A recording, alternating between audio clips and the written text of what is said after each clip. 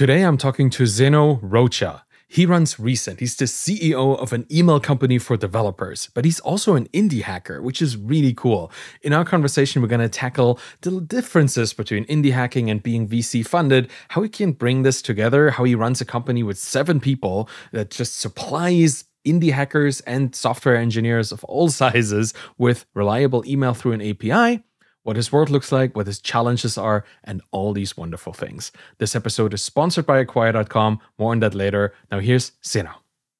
Hey, Zeno, you said something back in January 2023. You said we are building a communications platform and we're starting with email. So my question to you right now is are you done with email just yet? Can and can you ever be truly done with email? Man, uh I think when I started Resend, I never thought how hard it would be to build an email company, especially an email company uh, tailored to developers. So the quick answer is no, we're not done with email. There's a lot we still need to do. We've been focusing a lot on the sending part, but there's a lot of interesting use cases around the receiving part as well. So this is one of the areas that we're focusing right now, inbound emails. And yeah, email is wild. It's so right. hard. I do wonder what are the things that you that you never thought you were going to run into. Like I have a couple on my mind, but I would like to hear what the actual journey was for you. I feel like there's an angle of email that uh, very people know about when it comes to anti-abuse. So we all know that there's a lot of phishing emails and a lot of people sending spam emails and a lot of bad actors in that space in general. We we get that feeling because we have a hard time ourselves to control our inboxes, right? But as an email provider uh, that needs to worry about the reputation of the IPs on that shared IP pool, uh, that needs to worry about how one bad actor can impact other good actors. Uh, there's just like a huge amount of energy that I personally put and the rest of the, the team also puts in terms of anti-abuse that no one knows about. And we created so many systems internally. Uh, and we even call it like RoboCop, you know, that's like the, our little machine nice. that helps uh, deal with that. And it's just so wild. I never thought I would spend so much time fighting spam and, and phishing, uh, which is crazy. Yeah, that it's actually interesting because I think that kind of technology, that's the actual innovation in the space, right? Like email, t- technically the protocol has been around for 40, 50 years or something. It's been quite quite a while, but having to deal with criminal or, you know, uh, illegal activities and fighting that, the whole cat and mouse game, that's where most of the innovation happens. Am I right with that?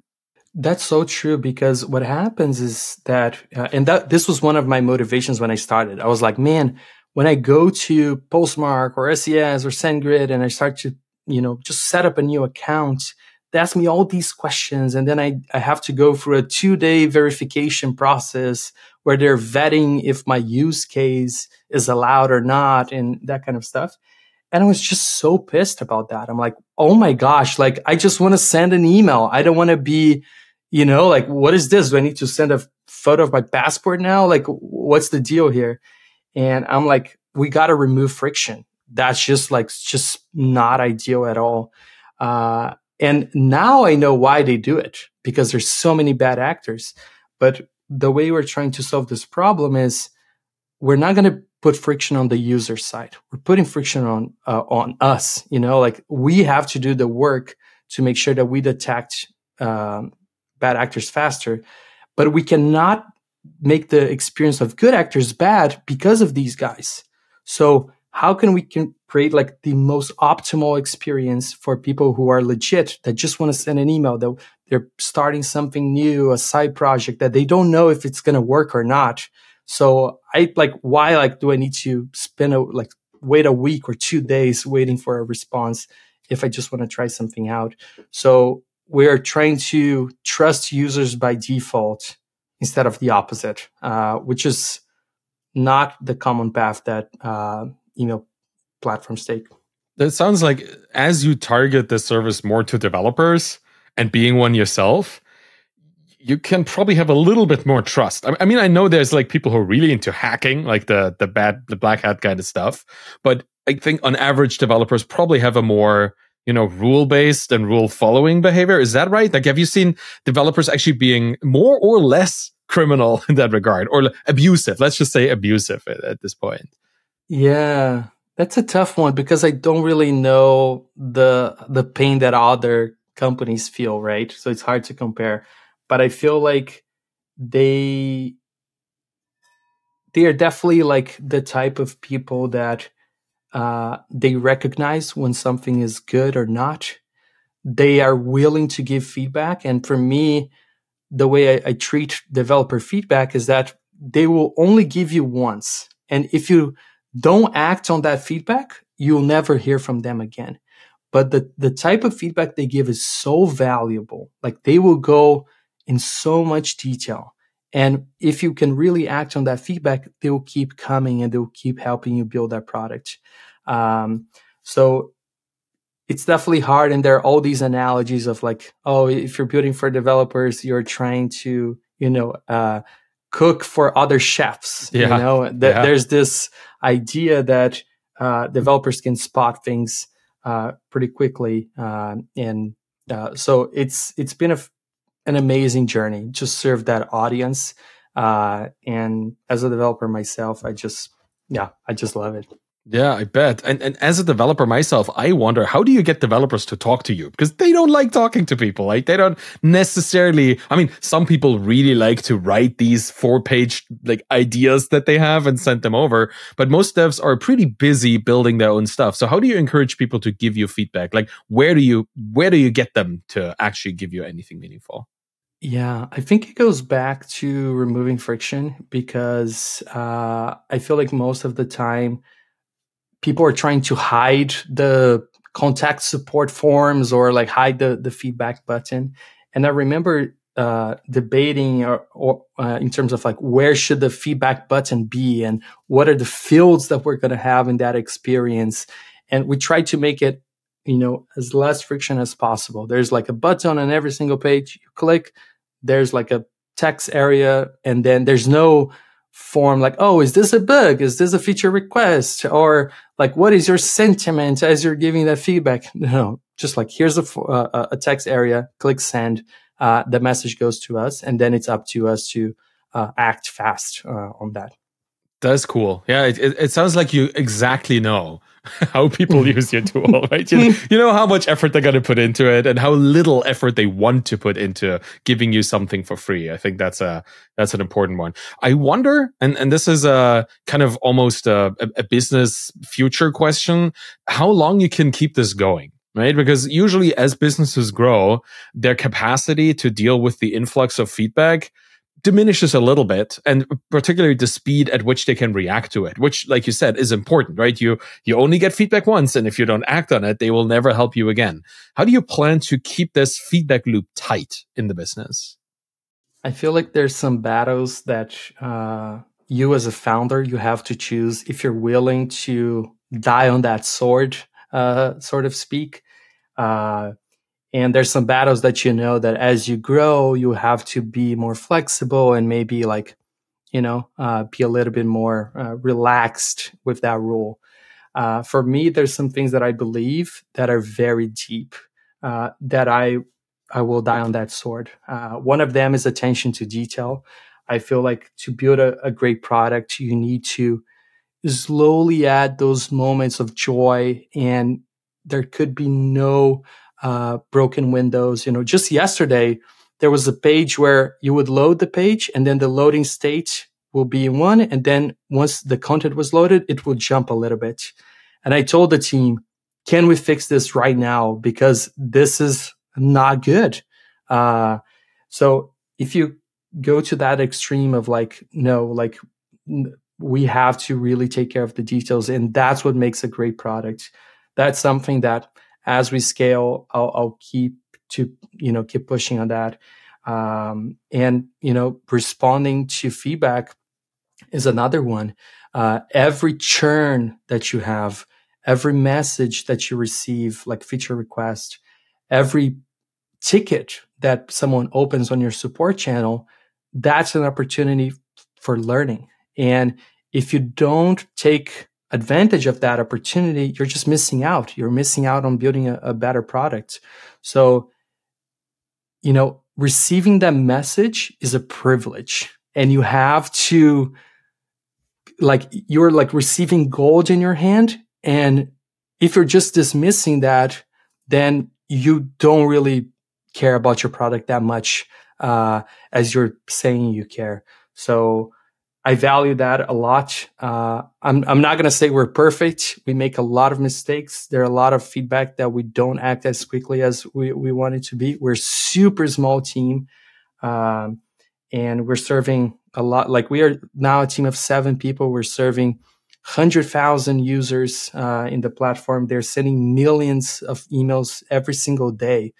Uh, so how can we keep scaling uh, without necessarily just putting more people on the problem, right? It's always the challenge. So yeah, those are some of the things that I I I'll die on on that sort.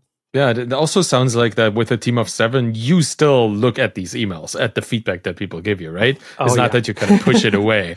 Like you sound like the guy who would just want to read every single one of them at this point. For sure. And what's re- what's even more important than me reading those emails is also for the engineering team to to get to have access to that data. I feel like a lot of teams they try to shield the engineering group from like customer feedback and then there's this gatekeeper, this product manager or the support team that compiles that data and then give that data to engineers. And I've always subscribed to the idea that, you know, engineers need to be talking to users. They need to have access to the support system. Uh, the Zendesk uh, system can't, cannot be like separated and engineers cannot have like a, a, license or a seat. No, like engineers should be able to go to the support tool and answer questions themselves. So that's super important. Yeah, I, I, recall being in a lot of companies that had this kind of divide. And they mostly did it because they thought us engineers, we wouldn't be able to speak the language of the client. And which is funny because in, in all of these businesses, we were talking to technical people. Like we were serving other technical people with our technical product. And I think in your case, even more so, right? It's developers building for developers. Like if there's anybody who should speak to these customers that you have, it's your development team. They know their language. They know exactly the, you know, the little slogans and the, the lingo of, of the community. They know what people want, what they, what they need. I love the fact that you kind of keep this in the team. Um, how, how do you avoid like pulling people out of their flow state because that's that's something developers really need right? And your customer service conversations they come in when they come in. So how do you how do you keep people focused on their work while still being involved in the customer service world?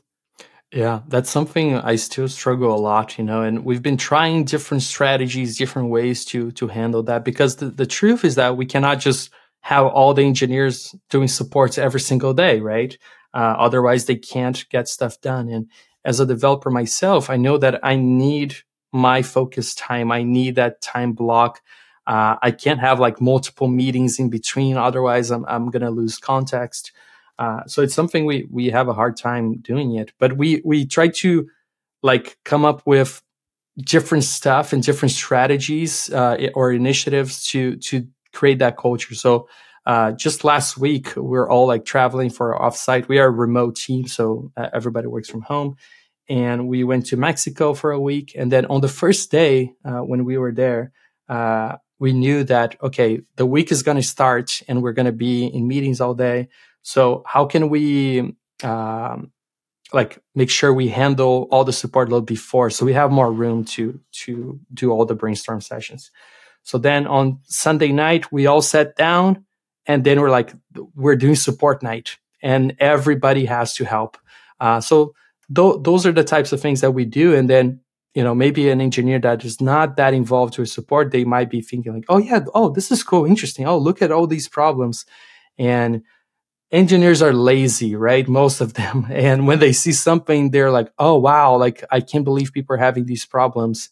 Let me fix that for them because they, they shouldn't be having these things. So i yeah, I feel like it's so important. But I, I wish I had the the answer uh, to the question because well, you do, and it's trying to make it better step by step, right? That's what it is. Like you just try to figure out how you can involve people without like taking away their focus time, and that is always. I think it's a unique process for every business because first off, what you build depends uh, that uh, on that depends like how focused you need to be and what your customers have as problems also impacts that right? So that that's the unique part there.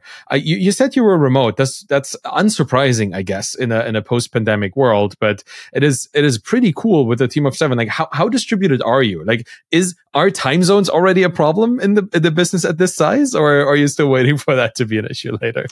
Yeah no i i actually think a lot about what is the best setup for an early remote team? And I feel like that looks pretty different uh, in terms of what are the skills you need, what are the time zones that you that you're open to. And I had that experience at WorkOS when, when I used to work before, and we were a team of like 50 people. And back then, we were very strict about what are the time zones that we hire. So we still didn't have people in Europe or or Asia because we wanted to keep the time zones in between like North America and South and, and Central America. So that's pretty much how we we also behave here. Like, okay, we're a small team. We we try to hire people as senior as possible because we don't have too much time for training and and developing. Like we just need to get stuff done and, and learn as quickly as possible. And we also need to be able to have some sort of uh, overlap between our work. Not full overlap. We actually don't believe that that's the case. We we very much believe in in working async and having everything around like async work. Uh, but some overlap is good. So that's how we, we try to do. So we we have like people in North America, people in, in South America today, and then we have that like four hour gap uh, between those time zones. That's cool. That's still that's it's pretty close, right? It's it's it's not the other side of the world, but yeah, I, I could see that. It, I'm I'm kind of I'm mesmerized by the fact that it's just seven people because like you went through YC, which is something that a lot of people aspire to. And I guess a lot of people in the indie hacker world have very strong opinions about, you know, like Daniel Vassallo has written extensively about this. And a lot of people are mirroring the, the idea that, oh no, I never would raise VC because uh, I want to bootstrap and all of that. But I see you do it and still have some kind of sustainability built in and a very a strong focus on like team cohesion and actually like moving forward in a in a kind of less crazy way than what most people attribute to the v, the VC money world. So it's great to to get like a glimpse behind the curtain here. How has going into YC impacted the trajectory of this business? Like, because you're defying expectations on my end, right? You don't have 400 engineers right now. And I thought everybody is trying to grow as much as they can. So what else am I missing here? What's, what's the, the magic there? You know, it's super interesting. Uh, I I'm an indie hacker. You know, I only started Resend because indie hackers inspired me. Indie hackers like you, indie hackers like Daniel, and so many others. Uh, I remember starting Dracula Pro and then like going through all that journey and then making my first dollar online and and being like so puzzled about like how can people really, you know, you know, uh, put their credit card information and buy this thing for me. And then waking up and seeing the Stripe notifications or the Gumroad notifications, yes. which I still use every single day. uh, and selling books uh, and being inspired by your journey as a self-publishing uh, author, same same for me. So I went through that journey and I noticed the pros and cons of being an indie hacker. Uh, and I feel like that's the same for the VC route. Uh, there's pros and cons. And when I looked at the business that I was building with Dracula, for example, I'm like, I, I'm pretty sure this is a lifestyle business, plain and simple. It's real. Like, how can I scale you know selling collars online. It's hard uh, you know? Right. uh, and i have so many ideas to grow that community and i still do that on weekends and and, and during the evening. Um, but that was a lifestyle business. That's an indie hacker business. Great. When i had the idea for resend i knew this is the type of business that requires capital.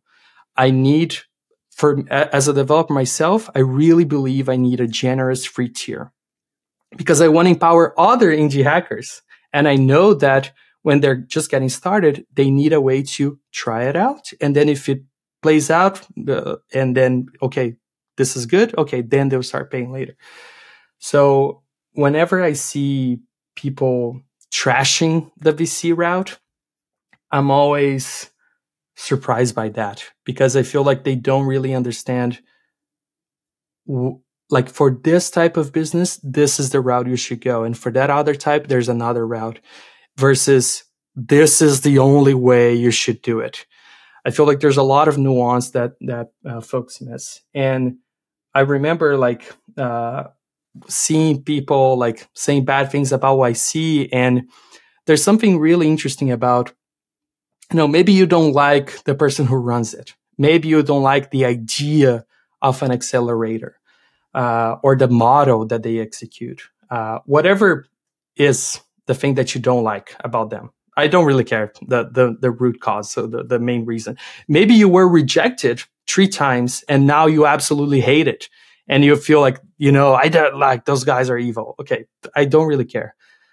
Uh, what i what i don't think is nice is when people just think that okay every yc company is bad because yc is bad you know uh, and i remember when we had an incident uh, with resend and there was a lot of attention around that i saw that type of behavior and i was like kind of disappointed with that um, but at the end of the day, you know, everybody has their opinions, you know, and and it's fine.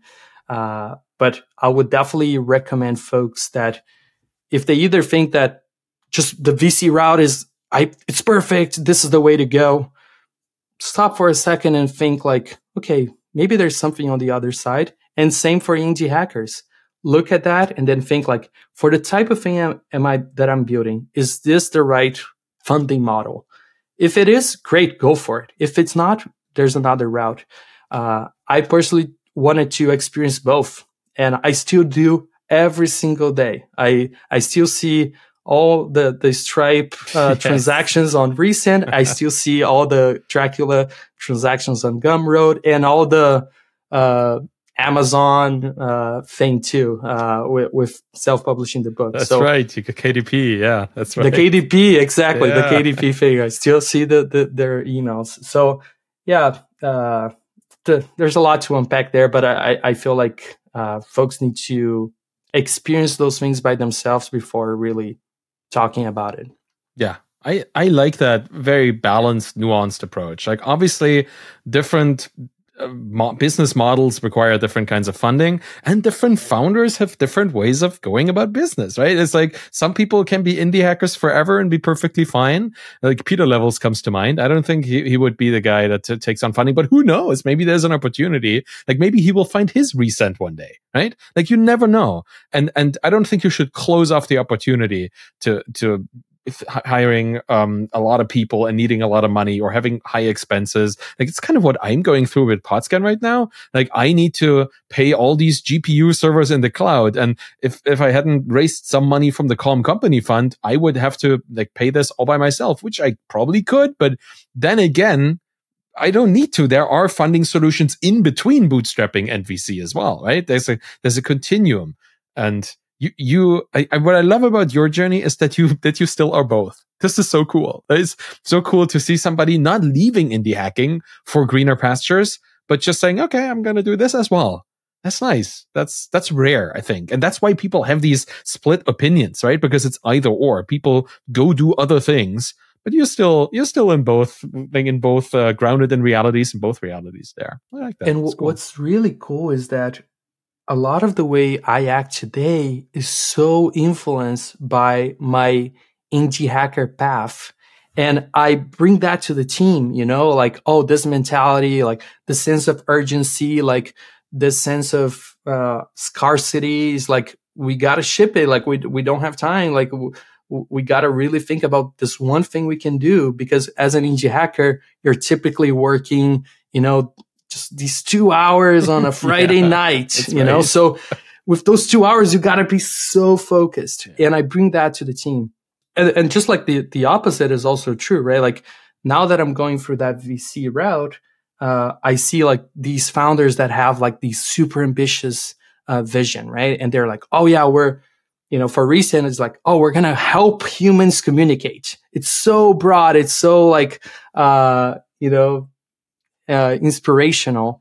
And then I'm like, you know, it's actually cool to have that, that audacity.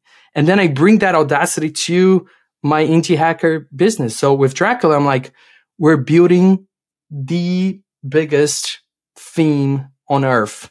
And that's what Dracula is going to be. It's going to be available everywhere and every single developer should use it. Cool.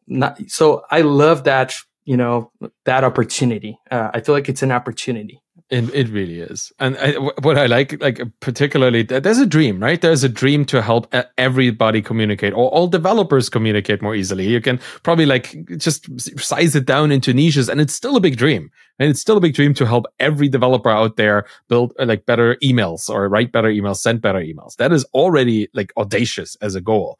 And then taking this into these small projects and small, I mean, by just like tightly scoped, that's also great because why not make the best theme? Like Dracula is great. I think I'm a customer. I was back then. And, and it's like, yeah, this is great. This is not like the, the, the biggest revolution in technology, but it's going to help me be better at my job or it's going to make life more enjoyable. And that is already a lot, right? It's already a lot to have that dream to make it a really cool thing that people can use and will use every day. I think dreaming is all right. It's all right to dream a little bit and take that into your business. That's so true. And you said something that that's so impactful because I feel like uh, we're not reinventing the wheel here, right? Like you, you said it before, like email existed for the past 50 years. It's probably going to exist for the, the next 50. Uh, and it's not like there are no email solutions out there. There's actually plenty of them. Uh, and we're trying to take a new spin on an existing problem. And just trying to solve it for this niche. That's something I learned with being an indie hacker. I just gotta nail down this one niche. And if I do it, then I have the opportunity to grow to other niches as well. Uh, so I remember for a long time, uh, I thought that to be an entrepreneur, you had to just like come up with something that no one ever thought about. It, it gotta be revolutionary or, uh, and I, I learned that that's definitely not the case. There's actually a lot of opportunity, especially now when so many people are looking at AI as this shiny object and everybody is like a gold rush. Uh, everybody going to that side. I, I feel like there's so much opportunity for indie hackers to look at existing products and say, you know what? Google Analytics is not that good. Maybe I could build an alternative to that. Oh, like, I don't know, Jira is not that good. Maybe I can build an alternative to that. And you see, with Plausible and with Linear, they took two different paths. One is a VC backed company, another is an indie hacker, a bootstrap company. Uh, so I don't know. I feel like uh, yeah, this is the best time to build. And, uh, and it doesn't have to be something that no one ever thought about. Yeah. I think your approach of like really sweating the details, I think is the phrase, right? Like really caring about the, you, you can, you can see it on the Resend homepage this is a well constructed homepage and it looks cool. Like it just, you know, like it, it immediately invites you into like, uh, you, you can feel that the people who built this, they probably care about quality product.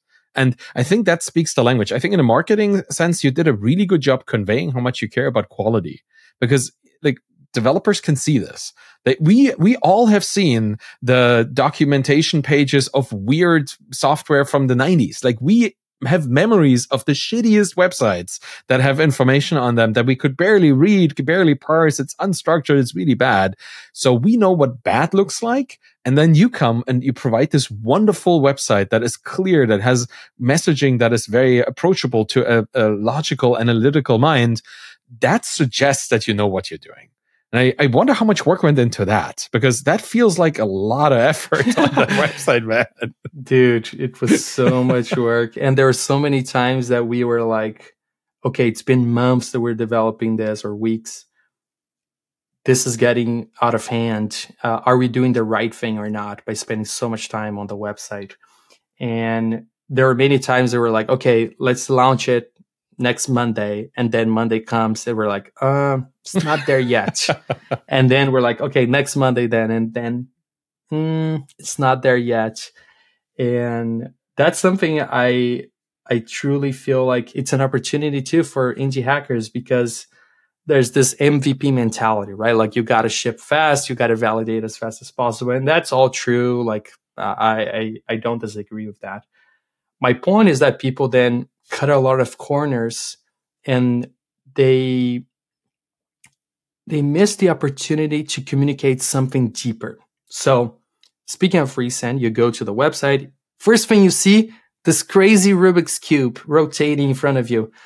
What's that about? Like, what's that related to email or developer tools? What's the deal with that? And for me, the, the important thing about that is that it communicates a lot of things. Communicates that, hey, this is different. This is not SendGrid. This is something else. Oh, this is, there's a technical excellence here that I don't see elsewhere. So if this is good, imagine what's behind this and the attention to detail. Oh, this is a team that cares. So if I have an issue, they'll, they'll probably care uh, to help me. And I could create a values page and talk about all the things that we care as a team and then write that down. Or I can demonstrate on the most important real estate that I have on the web, which is the first load on my homepage. And I highly recommend indie hackers to do the same. Like, how can you communicate the things that you value and that your audience values? And there's just a sense of giving back that I, I cannot articulate. I wish I could. But when you see something and you're like, oh, these people care. Oh, by you just like you also care by by extent. There's just something weird about humans. I I can't explain. I think there's something, something. I think I think it's, it's absolutely show don't tell, right? You, you show them, and by doing it, you you make them aware of it. It's, you, you don't you have to promise something and then maybe you fulfill it later. Like here it is, an example of your craftsmanship and all of that. And I think you do this not just on the website, which is great, but also in all the integrations that you have, like and that you actively pursue. Like I, you you've been you've been trying your open source stuff, like all the integrations into different tools. That's really cool. And did I hear something about uh, you going more into the world of PHP? Is that maybe something that's going to happen? Yeah, that's so true. You know, like we know there's a revival in in the PHP community uh, of some sorts. Uh, PHP has been around for a long time, and uh, the community is still extremely active, despite what other communities might say about it. Uh, so one of the cool things that I'm super excited about is that uh, Taylor, the creator of Laravel, I I stumbled upon him on an event, and he was just like on this circle with me, and then I just mentioned something about uh, someone that he just had hired and then he's like, "Oh, so yeah, what do you work on?" I'm like, "Oh, Resend." And he's like, "Oh, I actually uh, developed like a, a, transport layer, and, and, and I committed that into Laravel." I'm like, nice. "Really?" He's like, "Yeah." And I'm like, "When? Yeah, when, when, are you shipping this?" I'm like, "Oh, I just need to push the commit, and, and then we're we're good." I'm like, "Yeah, let's do it." Awesome. Uh, so. so cool. yeah, Resend is now uh, like a, a, core the transport layer on, on Laravel, and then that was super cool because then the folks from Symfony saw that and they got inspired by that. And now Resend is also part of Symfony. Uh, and we're just trying to make the lives of developers easier. Whatever, you know, channel or technology you use, like another case uh, is with uh, Cloudflare workers. Uh, the folks from Cloudflare, they reached out to me last year talking about like, oh, how we can integrate Resend. Uh, there's a lot of people asking for that and we didn't have too much time to work anything uh, with them. So then they came this year again. They're like, man, there's a lot of people using Resend Cloudflare workers. We should do something. And now we have like an official integration with them too. They added Resend on their docs. And I'm like, just so happy that uh, we're building this ecosystem, you know. Uh, as a developer, there are tools that I love, and every developer loves a different tool. So whatever you love, we want to be there. We're working on a Rust SDK at this very moment. So there's a lot of cool stuff coming. That's cool. And again, this shows like how much you care about this particular community. Right? That's that's what what I hear. Like you you could probably have just skipped Rust, you know, or skip skip Laravel for that matter, and just went for Rails, or you know, like pick your thing. But to actually be inclusive and give give everybody who has a preference, a choice of integration, that speaks to me as somebody who has missed out on a lot of these in the past because these businesses were way too far gone from me, right? Way too, way too, they didn't care about me as like the, the simple single solopreneur developer. They only wanted to reach other enterprise businesses but you don't do that and i love this and i hope you can keep this up for as long as possible that's that's yes. really what i hope right because the, the, the markets change and you have growth expectations and all that but i see that that uh, you're trying you're trying to stick with devs for as long as you can and it's really cool yeah, man. Yeah, thanks a lot, Arvid. Means a lot coming from you for sure. well, I, I will keep my eye on on Resend. I, I think I, I have a, a, free account there, and I think I might migrate Podscan over to the thing now that it's also in Laravel as like a baseline thing. That's just awesome. I really love this, and I, I yeah, it's, it's so funny, right? That you didn't necessarily intend to have this happen, but it just happened because you were at the right place at the right time, talking to the right people.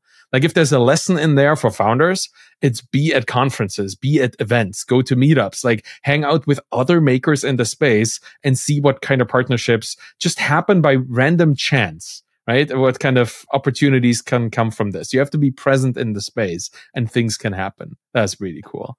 Yeah, serendipity awesome. is yeah. something that, you know, uh, you got to use at your advantage. And when you're building something from scratch, uh, you just gotta use every little opportunity you can to to you know um, make it better so well, I, I see you do this and I, I see you like sharing all of this in public as well, which I really appreciate. So if people want to find out more about Resend about your journey, which has been what, what since like 2009 or something, you've been publicly communicating this on your blog as well. Like, man, there's so much here that we didn't even get to talk about. But if people want to follow you and the business that you're that you're building, where should they go?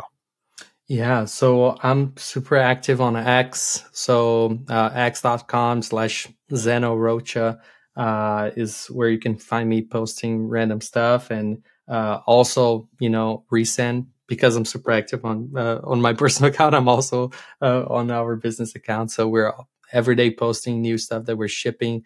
Uh, so at Resend on, on X and everywhere like zenorocha.com. You can find all my talks, all my podcasts, articles, everything I built.